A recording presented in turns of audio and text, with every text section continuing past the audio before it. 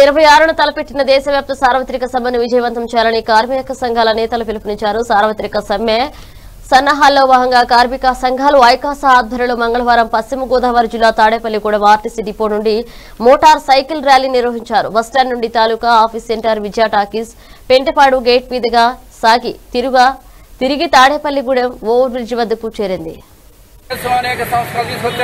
విద్యుత్ రంగంలో సంస్కరణలు తీసుకొస్తున్నారు అలాగే వ్యవసాయ రంగంలో సంస్కరణలు తీసుకొస్తున్నారు విద్యారంగంలో సంస్కరణలు తీసుకొస్తున్నారు.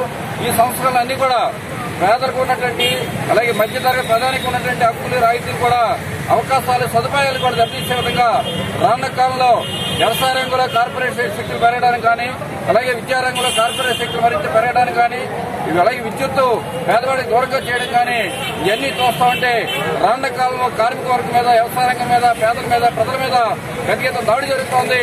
ఈ దాడికి వ్యతిరేకంగా ప్రైవేటీకరణకు వ్యతిరేకంగా కార్మిక చట్టాల మార్పు వ్యతిరేకంగా ఈ నెల ఇరవై ఆరో తారీఖున దేశవ్యాప్తమైనటువంటి పది కేంద్ర కార్మిక సంఘాలు భారతీయ సమ్మె పిలిపించాయి ఈ సమ్మెని తాడుగుని పట్టణంలో జయప్రదం చేయాలని చెప్పి ఈ రోజున కార్మిక సంఘాలకు ఈ రోజు ర్యాలీ నిర్వహిస్తున్నాం.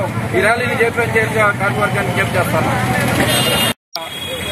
దేశవ్యాప్తంగా కార్మిక ఉద్యోగ సంఘాలు భారత సమ్మెకి పిలిపించాయి ఈ సమ్మె యొక్క ప్రధాన ఉద్దేశం దేశంలో అధికారులు వచ్చిన నరేంద్ర మోదీ ప్రభుత్వం రోజు రోజుకే కార్మిక వర్గం మీద పెద్ద దాడి చేస్తూ ఉంది.